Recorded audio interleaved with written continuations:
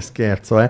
Buongiorno Filippo Favuzza, pediatra dell'ospedale di Erba, l'abbiamo incontrato già qualche settimana fa e poi, e poi, e poi la gente ha detto ma fallo ritornare perché è bravo, perché spiega bene, perché dice che ok, le allergie, eh. allora Filippo è tornato, purtroppo che ha avuto un po' di problemi per trovare parcheggio, ma va bene. Però ci siamo, Filippo, buongiorno. Ciao intanto. Marco, buongiorno, buongiorno a tutti buongiorno. Grazie di essere venuto qui. E, mm, sono in linea con quello che dicevi, mi sono cuccato il traffico. Ma va? Se, se mi muovo a piedi, ma esatto. stamattina ho bisogno della macchina. Vabbè, Filippo. Ho subito anche no, bene, allora, lungo lago. E devo dire che è, è, è stata una, sicuramente una puntata molto interessante. Facciamo, facciamo una, un'aggiunta va, di quello che ci hai detto. E an- allora, domanda visto che al mattino fa freddo, poi al pomeriggio fa caldo, quindi è una, una stagione un po' così.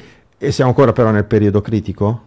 Cor- sì, allora, è chiaro che gli sbalzi di temperatura eh, mettono, mettono, un po' in imbarazzo sia le famiglie e di conseguenza anche noi pediatri veniamo spesso intercettati per i raffreddamenti. Ci si veste, c'è quel, quel luogo mh, eh, comune del vestirsi a cipolla, no? Vestirsi eh, certamente, certamente, dottore. Diciamo che essere umidi, l'umido del sudore o del, dell'umidità, diciamo, del bagnato da, da, pioggia non va bene, quindi il consiglio è quello sempre di, di, tenere il bimbo molto asciutto, perché è chiaro che questo facilita i raffreddamenti.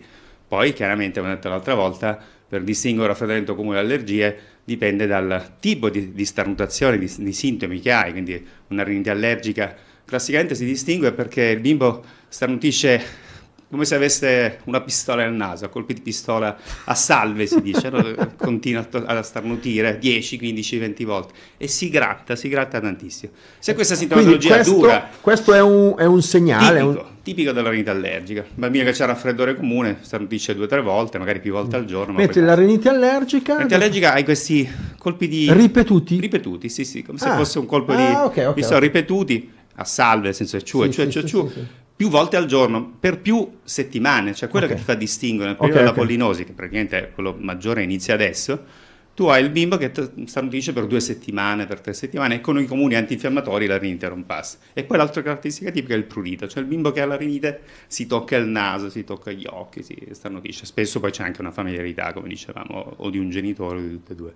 Ecco, questo allora, quindi periodo certamente ancora non facile, Abbiamo già detto che cosa poter fare, dottor Favuzza, la volta scorsa. Le allergie eh. si curano un po' con la prevenzione, lì è possibile un po' con gli acri alla polvere, che diciamo, abbiamo detto l'altra volta, sono questi ragnetti invisibili che vivono nel materasso, quindi laddove troviamo un'allergia agli acari, diciamo di bonificare il materasso.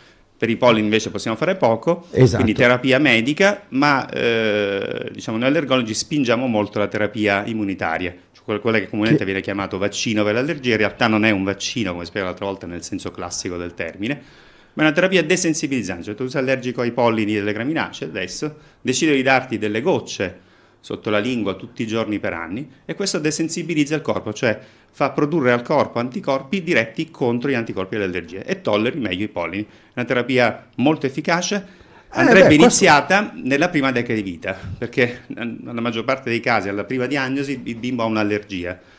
Invece se tu lasci la stessa allergia, spesso poi nella, spesso una percentuale che può arrivare eh, anche al 30%, nella seconda decade di vita sviluppi altre allergie. Quindi è molto importante okay. sia per la cura ma anche per la prevenzione.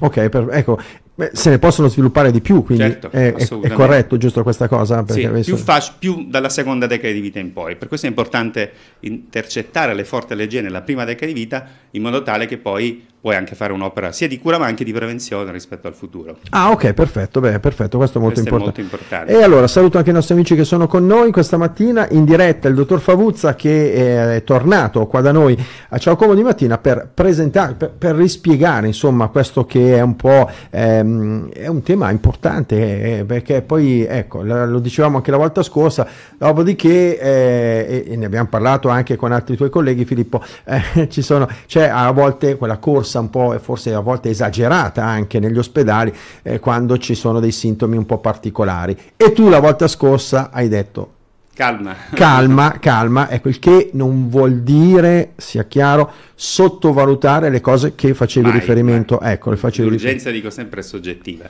Noi cerchiamo, nei pediatri, specialisti, il pediatra di libera scelta, no, anche perché di fare no... il possibile educazione sanitaria e capire quali sono un po' eh, i momenti critici di una sintomatologia. No, anche perché sennò ti ritrovi il pronto soccorso intasato. O anche gli ambulatori allergologici, la visita esatto. allergologica è una prestazione molto richiesta sia in età pediatrica che in età adulta però spesso magari l'invio non è correttissimo. Insomma, quindi... C'è una nostra ascoltatrice che ci ha scritto anche su Messenger e ci chiede, dottore, se, se c'è una un'età entro la quale poter fare de, magari degli accertamenti per il bimbo? È una domanda per... frequente, eh, non, deve, esatto. non, c'è in realtà un'età, tu puoi trovare una positività anche a un anno di vita. Diciamo che le allergie respiratorie sono un po' più frequenti dopo i 4-6 anni di età, quindi più verso l'età scolare. Ah, ecco, alimentari più... invece si manifestano, l'avevo detto l'altra volta, con le allergie, con la, anche con un'anafilassi nei primi anni di vita.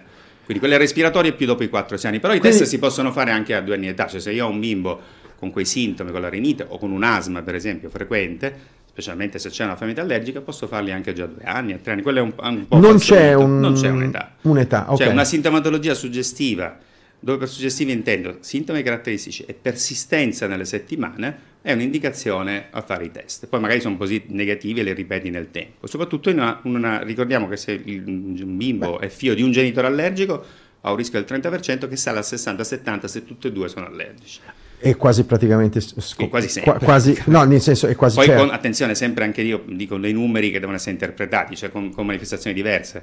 Papà può avere un asma, il bambino magari c'è solo una semplice rinite, poi la, la sintomatologia è Sì, però ecco, è corretto dire che mh, se i genitori hanno dei sintomi eh, allergici è verosimile che anche il bimbo possa sviluppare. Possa sviluppare. A volte il genitore stesso che lo dice allo specialista. Sì, certo, certo. Secondo me, come me, c'ha l'asma, c'ha la rinite. Ah, ok, perfetto, questo è molto importante. Quindi abbiamo anche dato queste spiegazioni di, di come poter intervenire con queste gocce, dicevi Filippo, sì. che sono... Mh, mm, ecco, In è, Italia non, non, ne facciamo molto perché non tutti i centri la fanno allergologici, ma è una terapia ormai diffusa da 30 anni. Funziona? Funziona molto bene anche perché oggi con eh, un eh, piccolo prelievo del sangue, quindi un piccolo fastidio per il bimbo, ci dà tante informazioni, facciamo un profilo biologico molto preciso e in base a quello diamo una terapia molto mirata con, con, con la terapia vaccinica. Eh, perché beh. spesso eh, il ritorno dei genitori allergici, quando propongo il vaccino ai bimbi, mi dicono: Dottore, ma guardi che io l'ho provato 30 anni fa, non funzionava. Non si fanno più queste terapie, per esempio, sull'esito del, del test al braccio, che è il primo livello. Si eh, eh, esatto, ah sì. Oggi per fare un vaccino facciamo questo prelievo, è un piccolo fastidio per il bimbo Abbiamo ovviamente in ambiente pediatrico tutte le cure del caso, crevini anti anestetizzanti locali. Questo piccolo prelievo ci dà molto, molte informazioni biologiche in modo tale da fare un profilo biologico molto preciso e quindi la terapia è più mirata e più adatta al bambino. Si chiama medicina di precisione. Ecco, la nostra ascoltatrice che ha scritto che lei è sempre rassicurante. E devo dire che in effetti, eh, beh sì, anche perché il ruolo, credo, no, dottore? È, Cerco di dare no, poche notizie ma no, precise. Beh, poche no, no, poche no, però rassicuranti sì soprattutto per eh, appunto cercare di dare dei consigli, suggerimenti importanti. Gianfranco e Roberto ci salutano anche loro, buongiorno, eh, grazie come sempre di essere con noi e, ehm, e con, il, con, il, dottore, che, il, con il pediatra meglio, che ci ha dato questi suggerimenti certamente molto importanti. Fino a quando, dottore, la stagione diciamo così a rischio per per le allergie per i pollini soprattutto. Lo dicevamo l'altra Quindi, volta, ha a che fare eh, col discorso perché, dei cambiamenti climatici. Eh, adesso, adesso Una volta erano dicendo... più catalogate, oggi invece con, eh, con le stagioni per più sempre. lunghe... Mm, sì, praticamente no, beh, un allergico, sì, sì, per sempre, no, però no, un allergico però... alle graminacee, mentre prima era, aveva sintomi che so da aprile, maggio luglio, oggi magari c'è la fine agosto, a settembre, dipende molto dalla, dalla meteorologia. Infatti consiglio sempre ai pazienti di scaricare queste app oh, dove addirittura ti dice un po' la concentrazione dei pollini, perché sono dei giorni veramente dei pazienti in base a, a, quelle, a, quei calendari devono magari farsi più farmaci perché stanno davvero male. Addirittura ci possono essere anche sovrapposizioni di poli. Questo per esempio è un periodo in cui stanno finendo le betulle e inizia la graminacea, quindi un paziente che ha entrambi le sensibilizzazioni, poverino, sta davvero male. Ok, perfetto, perfetto. Va bene, eh, direi che ci fermiamo qui, dottore, perché siamo arrivati alla fine del nostro appuntamento. Di... E, magari, sono... e, magari, ritornerai ancora a farci compagnia perché davvero è stato piacevolissimo. Eh, molto bene, dottor Filippo Favuzza, con noi quest'oggi, eh, ospedale di Erba, e però appunto, appunto ha scelto di venire qua da noi in questi giorni proprio per fare questo incontro